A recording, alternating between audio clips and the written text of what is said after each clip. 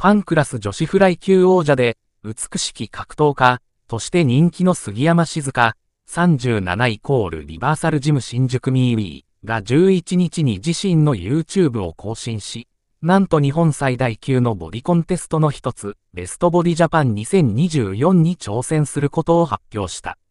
杉山は10月20日に開催される、ベストボディジャパン2024の首都圏大会へ出場する。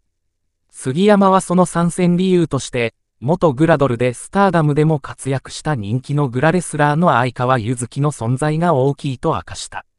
フォト動画、杉山静香、鍛えた腹筋でかい足、全身写真、ベストボディに挑戦を発表する動画も杉山は子育てをしながら格闘技と筋トレに励み、ベンチプレスで 100kg 上げるパワーを持つ美女ファイター。今今年7月のパンクラス346で当時の王者重田ほのかに挑戦し、忍者チョークで 1R 一本勝ち。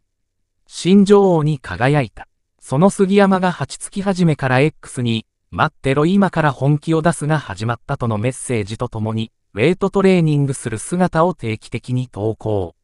日々、バルクアップしていく肉体を公開し、9月7日にボディコンテストに挑戦することを宣言していた。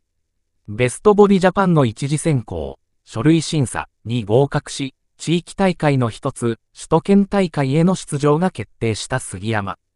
今回の投稿で、ベストボディジャパンへの挑戦を決めた理由は、信仰のある相川ゆずきの存在が大きいと明かす。相川はタレントで女子プロレス団体スターダムでも活躍。プロレスを引退し、結婚後は2022年のベストボディジャパン日本大会のフィットネスモデル部門に初出場でグランプリを獲得したのだ。杉山はパンクラスの王座を獲得した後、次の挑戦として憧れる相川と同じ舞台に立ってみたいと考えた。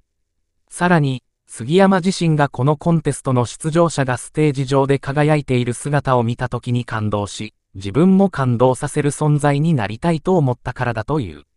ベストボディジャパンは、バランスよく筋肉のついたスタイル、筋肉を魅力的に見せる表現力、ウォーキング、ポージング、見せ方、ステージ上での品格や明るさ、スポーティな筋肉味などを審査基準とするボディコンテスト。各地域大会のを通過したファイナリストが11月24日、日曜日に東京、両国国技館で開催される日本大会のスタージに立つ。杉山はまず、10月20日、日曜日、に埼玉県越谷市サンシティホールで開催される、ベストボディジャパン2024の首都圏大会に参戦、挑戦する彼女の応援を行ってみてはいかがだろうか。